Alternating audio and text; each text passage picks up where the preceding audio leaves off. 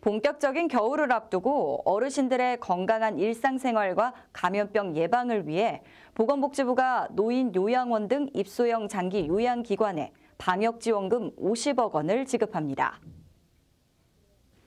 노인 요양시설, 노인 요양 공동생활 가정, 주야간 보호, 단기 보호기관 등 입소형 시설 11,608곳에 수급자 1인당 한 달에 1,200원을 지급하는 겁니다.